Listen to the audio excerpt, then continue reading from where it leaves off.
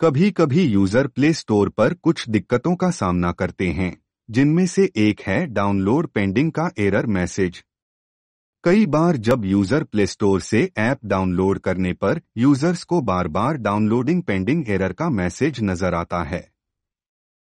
कई यूज़र्स को पता भी नहीं होता है कि इसे कैसे ठीक किया जाए। अगर आप भी उन यूज़र्स में शामिल हैं जो डाउनलोडिंग पेंडिंग एरर से मैसेज से परेशान हैं तो यहाँ हम आपको इसे ठीक करने के तरीके बता रहे हैं। आइए जानते हैं इनके बारे में।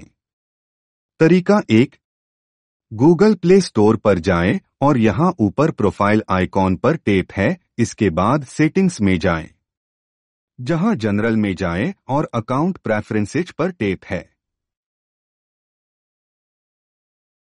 यहाँ स्क्रॉल डाउन करके क्लियर डिवाइस सर्च हिस्ट्री पर टेप करें और क्लियर हिस्ट्री पर टेप करें।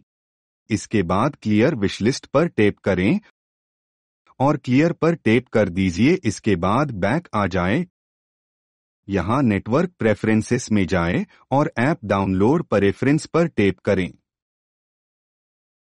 और ओवर अन्य नेटवर्क को सेलेक्ट करें। इसके बाद ऑटो अपडेट एप्स पर टैप करें और डोंट ऑटो अपडेट एप्स पर टैप करें। इसके बाद आपकी app download pending error fix हो जाएगा। अगर नहीं होता है तो स्टेप्स दो को फॉलो करें।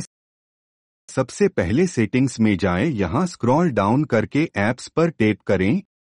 इसके बाद मैनेज एप्स पर टेप करें। यहाँ स्क्रॉल डाउन करके गूगल प्ले स्टोर पर टेप करें और नीचे क्लियर डाटा पर टेप करें और क्लियर ऑल डाटा पर टेप करके इसके क्लियर कर दे।